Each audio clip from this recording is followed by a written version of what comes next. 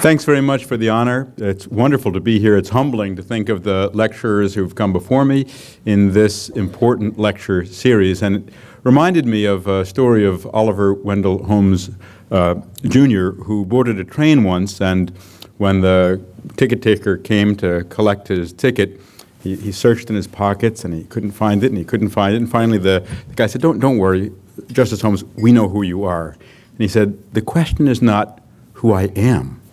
The question is, where am I going?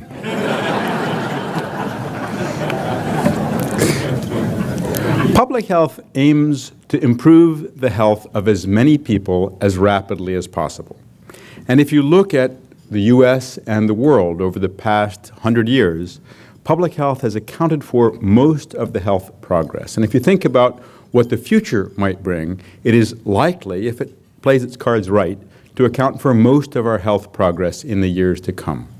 In the U.S., in the 20th century, by one estimate, the life expectancy increase of 30 years was attributable uh, in the case of 25 of those 30 years to public health. In global health, we've seen uh, tremendous improvement with a doubling of life expectancy in the 20th century, with notable exceptions for HIV in Africa, an epidemic which, like the 1918-1919 influenza pandemic, was large enough to actually move the mortality curve for an entire population. But with that uh, devastating exception, uh, the life expectancy globally has doubled. Life expectancy in the U.S. has increased steadily. If you look uh, at between 1980 and 2000, in uh, the United States, cardiovascular disease deaths were cut in half. And if you look at the cause of that uh, halving of cardiovascular death, about half of that uh, an article, by the way, uh, in the New England Journal of Medicine, 2007, by a CDC author. About half of that was caused by uh, community-wide improvements in health status, and another half by clinical interventions. Looking back at the 124 previous lectures in this series, I'm uh, stunned really by the breadth and depth of the article of the of the uh, issues covered. Um, in public health, we often try to boil the most complicated questions down to a two by two table. In the case of an outbreak investigation, that's ill, not ill, exposed, not exposed. But there is another way of, of having a two by two table, and that would be to think about uh, communicable and non-communicable diseases and domestic and global issues. And for each of these four quadrants, there are critical issues that public health and clinical medicine can work together very closely on.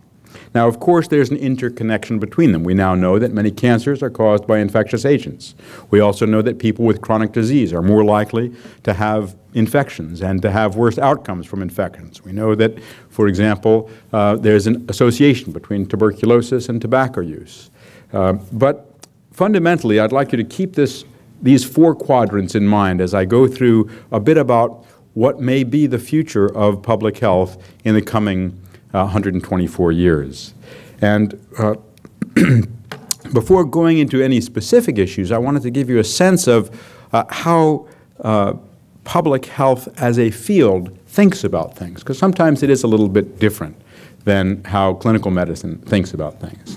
I think there are four essential concepts that underlie much of public health thinking. And the fourth of them, uh, which I'll get to in a moment, is what I think is essential to public health and which I think can have a tremendous impact at improving health outcomes and clinical care.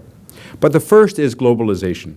We are all connected by the air we breathe, the water we drink, the food we eat, the planes we ride on, and if anyone needed a reminder of that, Ebola probably helped. Uh, but in addition, uh, we're connected by ideas that move around the world, where we can understand a problem, a solution, an approach, or some other aspect of health or health improvement. Uh, the second basic concept is the critical importance of the intersection of health care and public health. Many years ago, when I was an epidemic intelligence service officer at CDC, and I was working on uh, outbreaks of multi-drug resistant tuberculosis in hospitals throughout New York City. Uh, and we were having some challenges getting infection control improved in healthcare facilities. Some things never change. Um, I, I, found that there were some challenges there, and we were working on how to get a better interaction between the health department and the public health and the academic medical centers. And one of my mentors at CDC told me something that was very reassuring. He said, you know, between public health departments and academic medical centers, there's a long tradition of mutual disrespect. but the fact is that there's a lot that we can learn from each other, and there's a lot that we can do to be more effective. But all too often, public health and healthcare are going in different orbits. And by working together, I think we can get more done than either field can individually.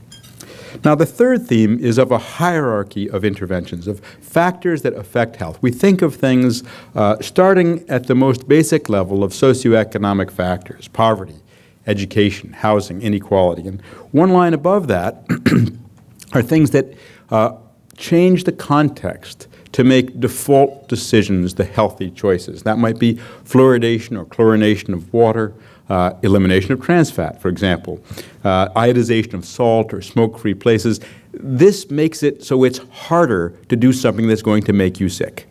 So you could educate everybody to boil their water, or you could just uh, provide clean water. So changing the default value, changing the context is the next. At the next level of intervention are long-lasting protective interventions. The classic here are immunizations, but also things like brief intervention for alcohol use or cessation of uh, uh, cessation treatment uh, for tobacco use or colonoscopy uh, with polyp removal. So you have interventions which require an intervention of the healthcare system that doesn't have to work every day, all year round. It just has to touch people uh, occasionally, maybe in some cases once in their life, to protect them. At the next level are clinical interventions that require long-term care. Uh, blood pressure control, cholesterol management. These are things that uh, require a great deal of effort. And at the, at the next level are counseling and education, uh, exhorting people to eat healthy or be physically active. Now, each of these levels is important, and an overall public health program is likely to try to touch each of them. But quite frankly, those at the bottom are much more effective than those at the top because essentially they require less individual effort and they reflect a collective responsibility to making the environment such that if you just go with the flow, you're not going to get sick from a preventable cause. And that's what public health tries to achieve. Now, the bottom line of what I want to emphasize here um, is that in public health, what we try to do uh, is to keep in mind the population impact of our activities. Now, the definition of an epidemiologist is someone who loses sleep over denominators. But I think the bottom line for the future of public health is that we will need an obsession with both numerators and denominators in each of these four quadrants and a way to work with clinical medicine to try to increase our population impact. Now, I'll start with infectious diseases in the United States. And a few years ago, one of our most talented physicians at CDC, Dr. Arjun Srinivasan, uh, came to my office and he said, Dr. Frieden, we have a problem and we're extremely concerned about it, and if we don't move urgently, uh, we may have a real catastrophe on our hands. It's not often that somebody comes to the CDC's director's office and says that, and he wasn't even asking for money. Um, but he was talking about CRE, carbapenem-resistant Enterobacteriaceae, which I'm sure many of you are all too familiar with. Uh, this is a true nightmare bacteria. Uh, with uh, mobile genetic elements, it can transfer resistance to essentially all known antibiotics between organisms. It has a mortality rate in hospitalized patients of up to 50 percent. Um, and it spread from one state in the U.S. to virtually every state in the U.S. It is currently limited largely to hospitals, but if it gets out into the community, then routine urinary tract infections, pneumonias, wound infections will be problematic to care for, to say the least. And even more concerningly, much of medical care currently depends on the ability to treat infections which we anticipate as kind of the price of doing business or the normal course of events cancer chemotherapy, some of our modern treatments for arthritis, organ transplant, um, dialysis. All of these routine, now routine situations, 600,000 Americans get cancer chemotherapy each year, are routinely complicated by infections. And we just assume that we will be able to treat those infections because we always have been for all of our careers. But we do face a potential future where we go not from the pre-antibiotic to the antibiotic era, but from the antibiotic era to the post-antibiotic era. And we're there already for some organisms and some patients. And unless we do more quickly, unless we turn that tide, we're going to see an inexorable rise and spread into the community of infections that may undermine or make much more difficult much of modern medicine. Now, my doctor, my father, who was a cardiologist, um, Julian Frieden, uh, used to say that when you see how other doctors practice medicine, you realize how resilient the human body is.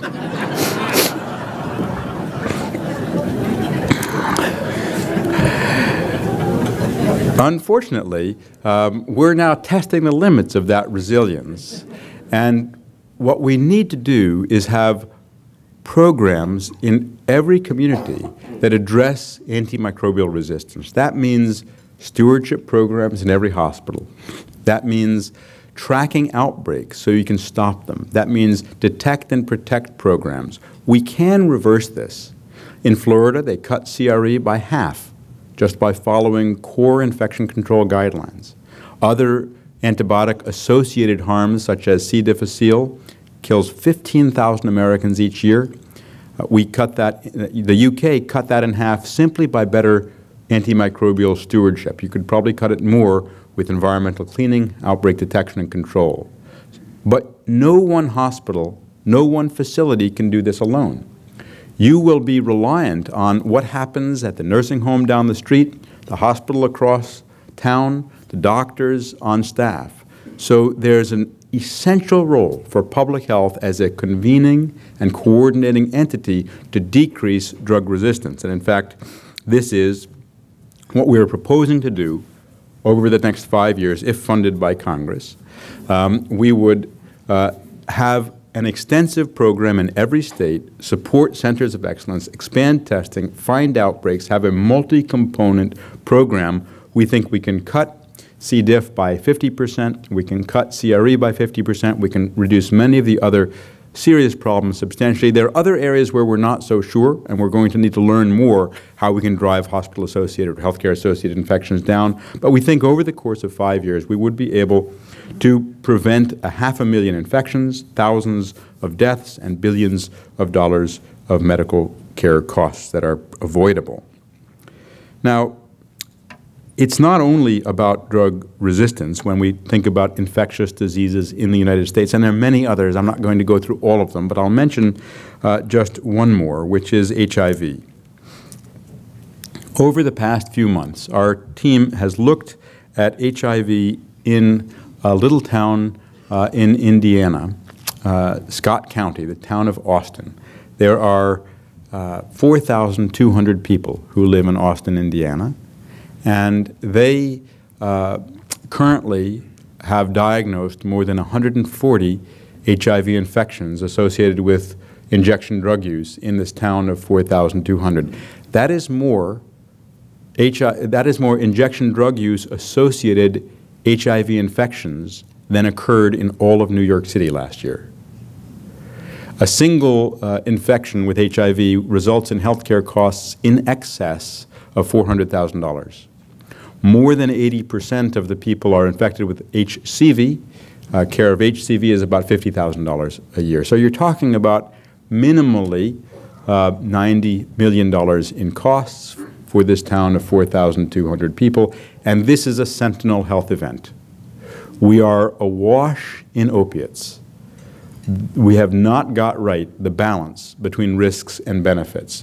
By all means, for palliation of someone with cancer, we need to treat their pain.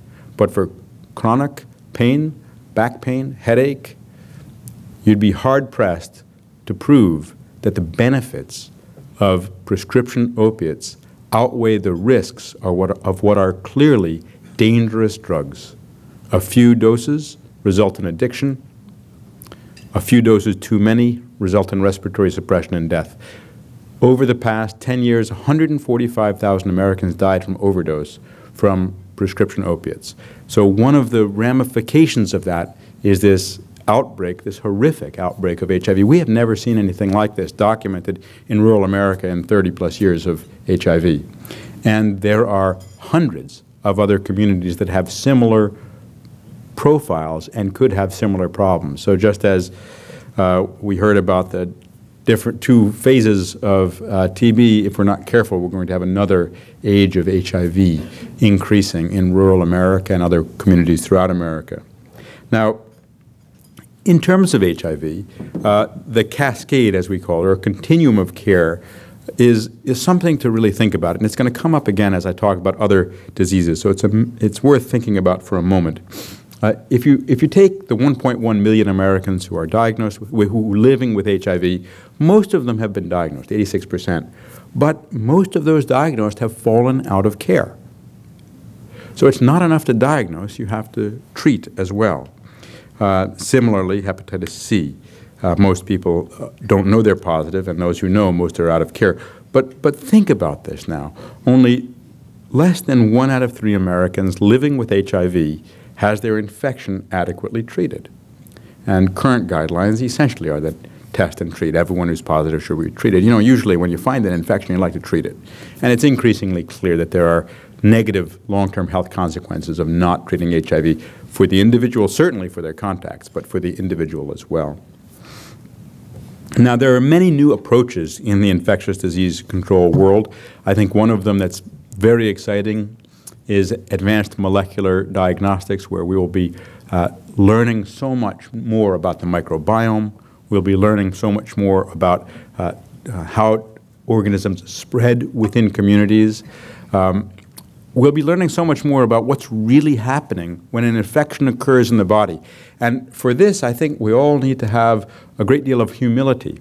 Because if we think about what we do in microbiology, we take an organism, we plate it out, we see what grows. Well, there's nothing that says that what's growing is the predominant subspecies or quasi-species of what's pathological in your lungs or bloodstream or elsewhere. So there's a lot we're going to learn from this new, from these new genomic tools and from the kind of bioinformatics that are going to be required to analyze the tsunami of data that's coming with this. But uh, all of that is going to only be as effective as core epidemiology is at identifying the clinical syndromes, the epi epidemiologic patterns. It's a tool, not a replacement of basic clinical skills and basic epidemiologic interventions. Now, going from the infectious diseases in the U.S. to the infectious diseases around the world, I'd like to tell you a story of a meeting I had with a man named Karel Styblo. He created much of the world's approach to how to treat tuberculosis. Uh, I was made director of the Bureau of Tuberculosis Control in New York City uh, in 1992, and he came about seven months later to visit. And uh, in the course of that visit, he asked me a question that changed my life. Styblo came and he looked at our information summary and analyzed the information that I had spent a lot of time analyzing and in just a few hours he noticed a number of trends that I had missed, which was galling enough. Uh, but then he said, uh, now Dr. Frieden, I've read your information report.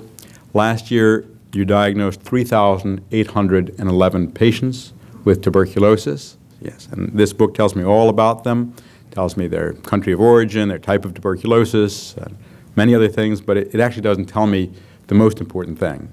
I was a little bit offended. I said, well, what, what's that? He says, how many of them did you cure?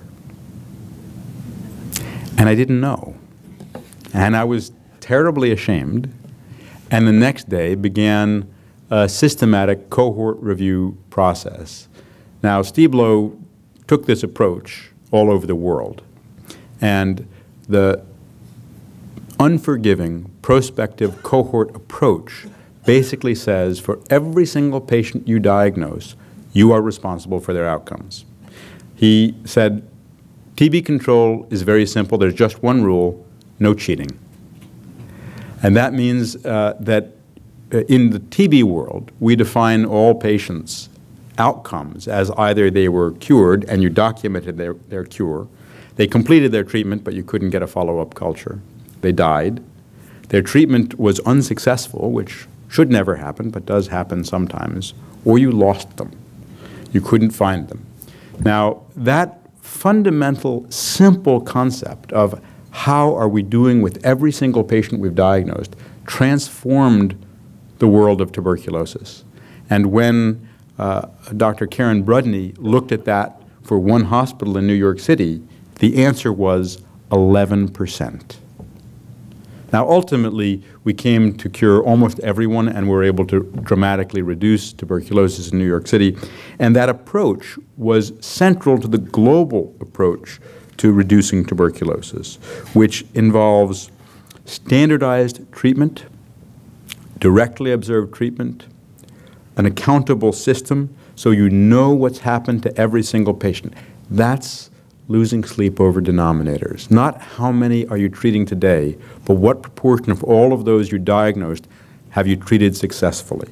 Now, what's happened in tuberculosis over the past 25 years is that the mortality rate has fallen by about a third in both HIV-associated and non-HIV-associated tuberculosis. The difference between uh, what could have happened without an expansion of Styblo's system and what did happen over the past 20 years is 10.9 million lives. So that simple approach of unforgiving prospective cohort evaluation drove improvements, led programs to recognize that directly observed treatment and standardization of care were essential, that team-based care and getting the frontline health workers to do the diagnosis and treatment and observation would be essential. Um, and that kind of care is absolutely crucial. And I'll say that in my own work in New York City, I learned a great deal about this from one of our outreach workers. He was a Nigerian man who we hired as an outreach worker, Christian Nwigwe, and he was a salesman by trade, but we trained him to be an outreach worker. And I'll never forget one patient I had, a young man who had hemophilia. Fortunately, this was 1994, uh, was not HIV positive, but he was uh, undocumented. He was working in an illegal factory, and he had isoniazid resistant tuberculosis. So the uh, standardized treatment for that is thrice weekly treatment with four drugs for six months uh, by directly observed treatment. He was from South America. I speak passable Spanish. I tried for an hour to convince him to participate in directly observed treatment. He refused. Um, because of these concerns about his documentation status, his factory, stigma, uh, he was on crutches, very hard for him to get around. Um, but Christian then met with him and convinced him. And for nine months, sorry, nine months of treatment, thrice weekly, uh, every single Monday, Wednesday, and Friday, met him a block and a half from his factory in the health department unmarked car, brought some food, uh, brought some uh, liquid for him. He took his medicines and went back on his lunch break uh, and got cured. And we cured his tuberculosis. Now, the thing about this that has always been so remarkable to me is that the patient spoke only Spanish and the outreach worker spoke no Spanish. Yet he was able to convey a deep concern and caring for this individual and build a bond and develop truly a friendship with him that allowed him to get the patient through nine months of thrice weekly treatment. This was successful. But this type of bond and this type of team-based care is going to be essential to better outcomes in, in any approach. Going on with infectious diseases globally, vaccination is uh, an amazing but unfinished success story. And if we think again about numerators and denominators, below the line here in blue are the number of deaths that are averted each year from the vaccines we give around the world.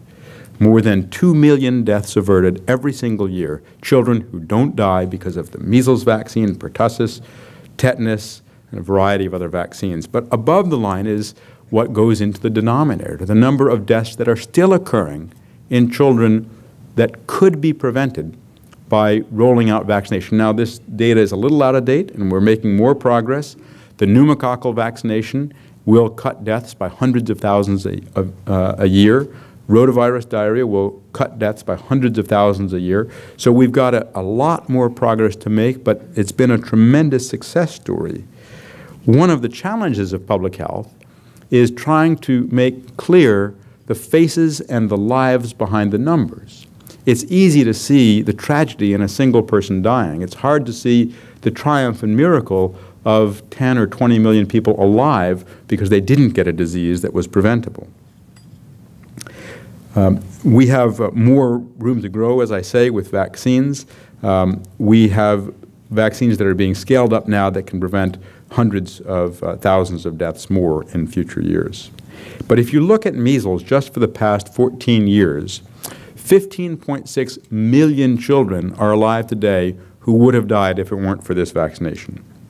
And similarly, if you look at malaria, global malaria deaths have declined dramatically, primarily by reducing death among children under the age of five. And this is a combination of public health interventions, such as uh, insecticide-treated bed nets, and clinical interventions, rapid detection and treatment of kids and adults with malaria.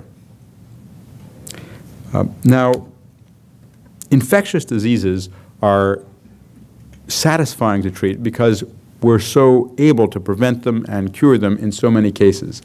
Many of our vaccines owe a great deal to Maurice Hilleman, one of the people who's least known in the field of health. He worked uh, for uh, Merck and was responsible for devising or improving more than 25 vaccines, including nine that are uh, the, of the 14 routinely recommended in the U.S. So that kind of impact is huge, and I think we've all had a reminder that infectious diseases are not dead with the Ebola epidemic in West Africa.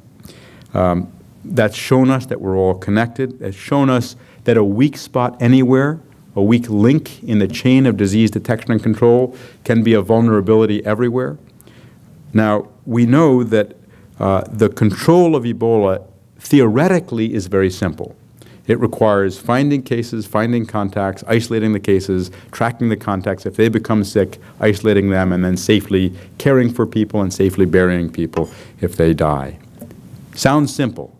Now try doing it in a place with no electricity, no running water, no internet, no cell phone coverage, 70 percent illiteracy, large uh, uh, elements of or parts of society that don't trust the government, and a, a near complete lack of core public health infrastructure. That reminds us how important it is to have that basic public health infrastructure to find and stop infectious diseases. And that's what the global health security agenda is about finding diseases rapidly when they emerge, uh, preventing them wherever possible, and responding immediately when they do emerge to prevent problems from occurring. There are two essential lessons we learned from the Ebola outbreak. First, every country in the world has to have a core set of uh, public health capacities that allows it to find a threat when it emerges, stop it promptly, and prevent it wherever possible. Second, when national capacities are, are overwhelmed, the world has to be able to move in a lot faster than it moved in here. Now, a lot was done in the Ebola epidemic. It's actually been the largest outbreak response in CDC's 70-year history, but it wasn't fast enough. There was so much needed so quickly exponential growth is very hard to get your mind around. But when cases are doubling every 21 days, keeping up with that with a uh, response is very, very difficult. So we have important things that are needed to build national capacities all around the world and to build a global capacity for when national capacities are insufficient. It's not enough to have a, a global capacity. The national capacities will always be quicker, more efficient, and more cost effective. But you've got to develop systems that are used day in and day out, but can be scaled up in an emergency. Now, that's, um, that's the second uh, of those two boxes I showed at the beginning. The third has to do with non-infectious diseases.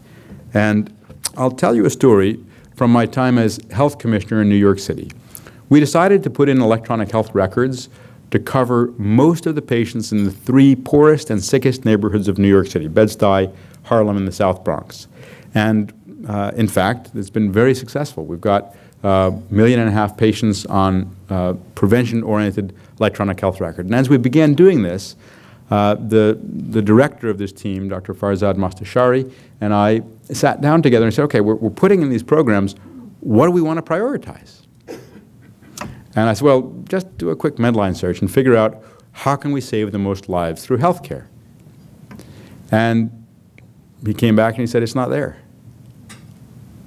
You can argue that there's a group called Archimedes that has done some work that's kind of in this area, but it's quite striking. It's a very simple question.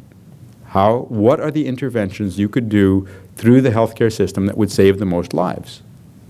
And we had then to get a graduate student and do it ourselves. Um, and it turns out that the, the, the, uh, the data is still is actually quite clear. For clinical medicine, uh, it is cardiovascular health, uh, far and away. Uh, and this uh, article from Tom Farley, uh, Farzad, myself, and others shows basically what happens when you go from the current rate of utilization of clinical services to an optimal rate. And on the y-axis, you see the number of deaths prevented per year in all-cause mortality. By far the single most important thing you could do is to better control blood pressure. I'll talk more about that in a minute. Of course, smoking cessation is a clinical intervention. There are public health interventions that can have a much larger impact on reducing tobacco use, such as increasing the tobacco tax, going smoke-free, running hard-hitting anti-tobacco advertising, as has been done here in Massachusetts and elsewhere. Um, but there are, of course, uh, new challenges as well.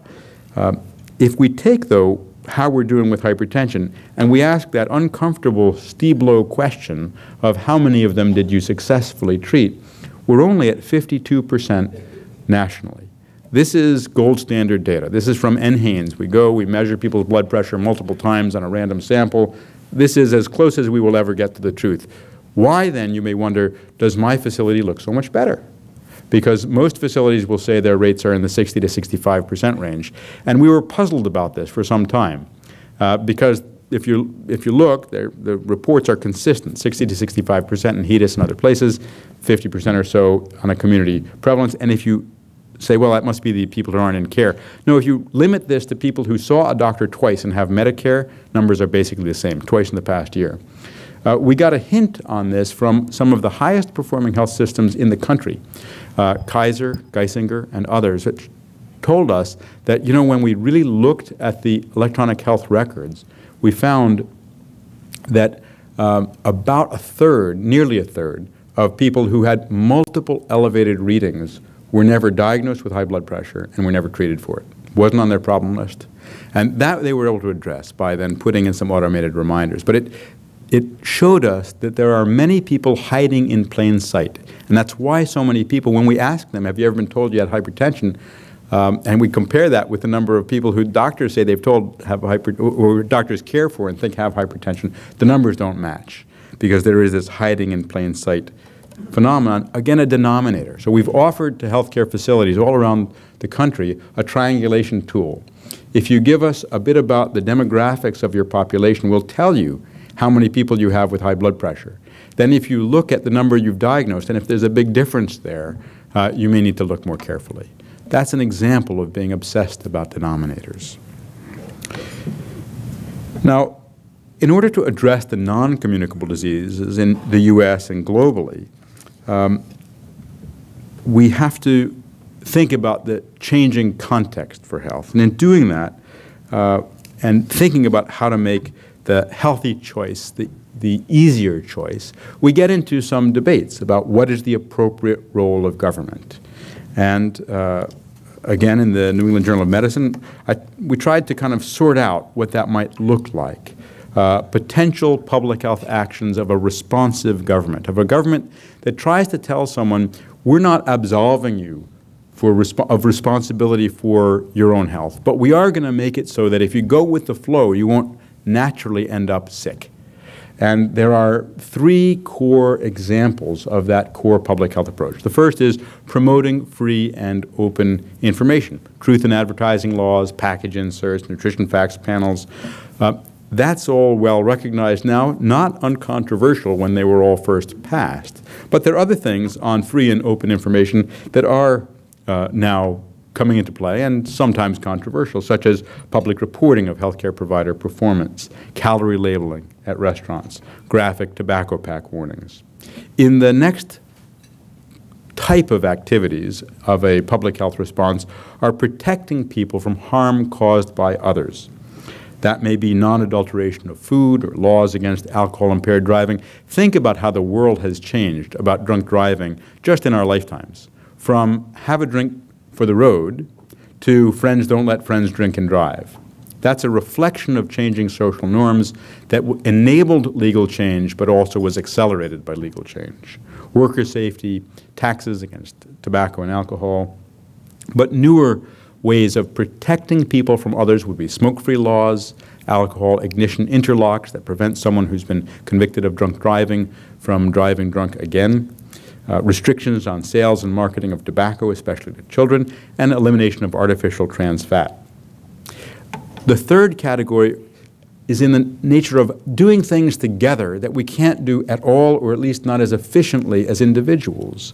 Vaccination mandates, fluoridation of water, uh, micronutrient fortification for prevention of uh, developmental disability with iodine or uh, neural tube defects with folate, uh, clean water, clean air, clean food, elimination of lead in gasoline and water. These are big impacts, things that have made a huge uh, difference to the health of Americans. And the newer interventions, which are still controversial, may have to do with zoning, so it's easier to walk or bicycle, or school policies, or reducing sodium in packaged and restaurant foods.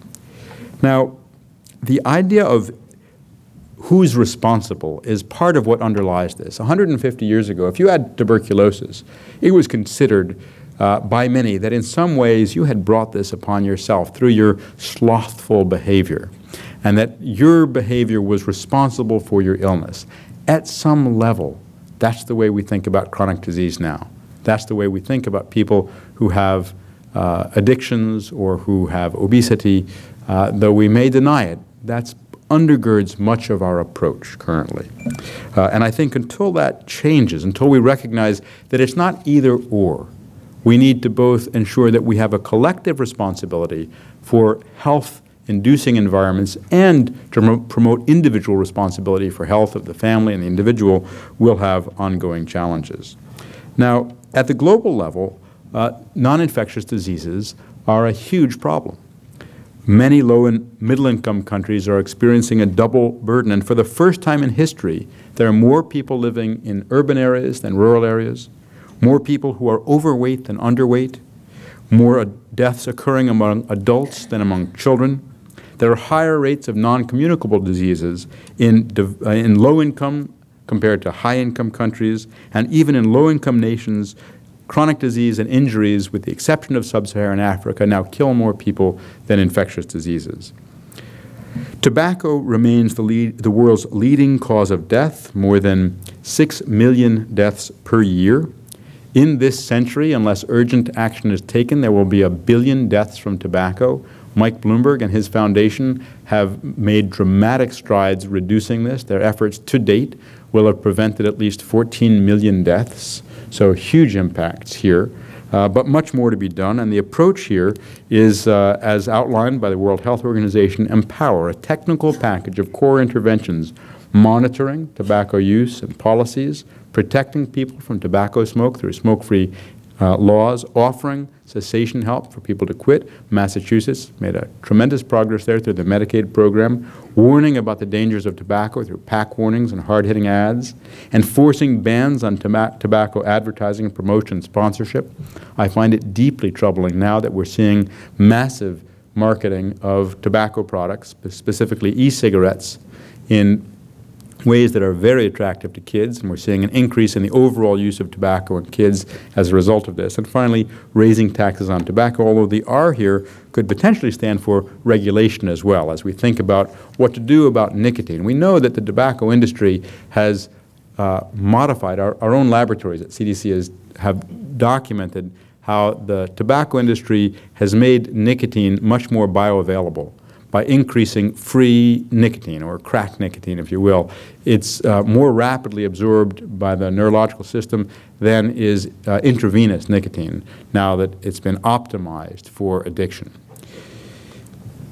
Now, the uh, issue of numerators and denominators is one uh, that isn't unique to public health. It isn't unique to health care. Uh, I think uh, when we think about numerators, we think about treating patients as VIPs. When we think about denominators, we think about answering that question that Styblo asked for any condition we're concerned about, whether that's high blood pressure or effective treatment of sickle cell anemia or any other clinical condition. So I think there are some important lessons from the public health world for clinical system improvement. One is consistency. Standardization of care allows improvement. It doesn't mean you have to follow without questioning what the clinical intervention should be. It does mean that for your practice or your facility, for common conditions, you should sit down and say, this is the way we intend to treat them. We will deviate from that if we want to. If we have a good reason, we'll document it.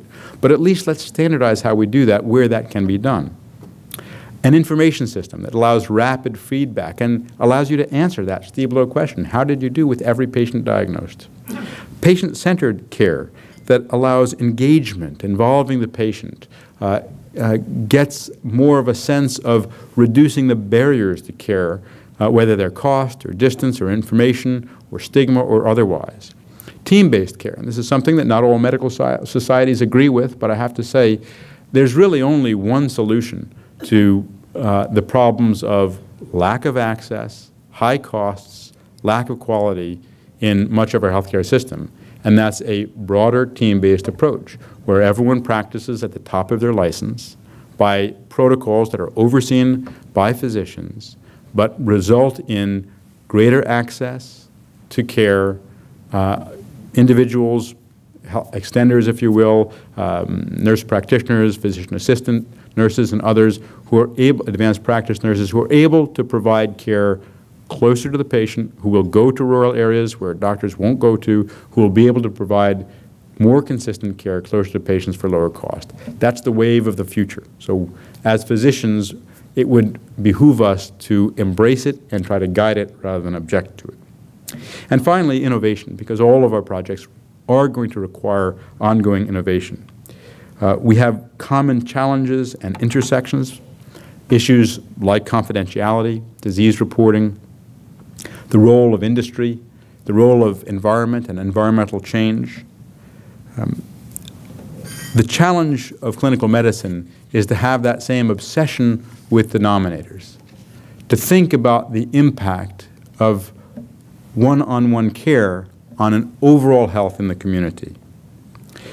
For that to happen, we need partnerships across many different sectors of society. Public health can't do it alone. Clinical medicine can't do it alone.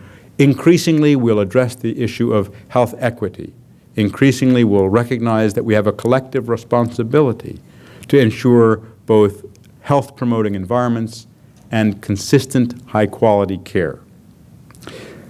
Increasingly, we'll recognize that for certain conditions, even a single case is unacceptable, that the numerator should be zero. Five years ago, it seemed impossible that India would get over the finish line for polio eradication, and yet they did. Polio is gone from India. When polio eradication started, the effort started in the late 1980s, 350,000 children became disabled by polio each and every year. Last year, less than 350 children in the world became disabled by polio. Three years ago, it seemed impossible that Nigeria would get over the finish line for polio elimination. But a rapid surge of CDC and global partners and effective action by Nigeria appears to have eliminated polio from Nigeria, even in areas where there is violence and insecurity. The last case of diagnosed polio in Nigeria was in July of last year. There may be clusters still, but uh, pretty good surveillance has not identified any. The only remaining major holdout is Pakistan. It accounts for 22 of the 23 cases diagnosed so far this year. Uh, but there's tremendous willingness on the part of the government and people and health workers of Pakistan to get over the finish line. And in terms of a numerator, there's nothing better than eradication, which is really the ultimate in both equity and sustainability, because it's for every single child for all of the future. And for the ultimate in denominators, or accountability, it's being, being able to answer Styblo question for each of the conditions that we care for. Thank you very much.